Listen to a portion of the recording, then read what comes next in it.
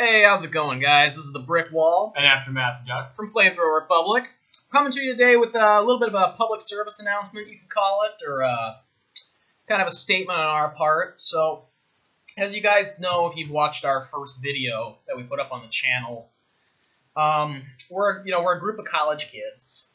We're kind of doing this YouTube thing, and uh, what we need from you guys is we need some comments. We need some feedback, like constructive feedback. Yeah, any way you guys could talk to us would be fantastic. Um, we'd love to hear anything that you guys have to say, especially constructive feedback. That would definitely help our channel.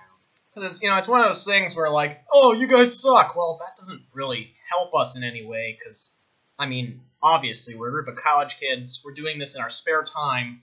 This is not like a professional product in any way. We're doing this kind of for the love of the game. One could say. And so we, uh, Or you could say love of the flame. God damn it.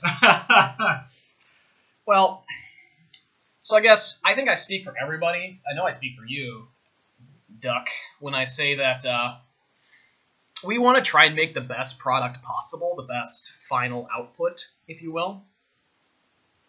And so we need we need feedback from our viewership to tell us what to do to make our videos better, so they're more entertaining, more fun to watch, and uh, yeah, just so I, I can feel better about what I'm putting out on the internet that has my name written on it, or at least, you know, your fake identity.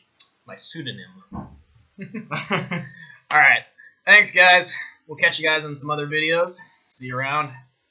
Adiós.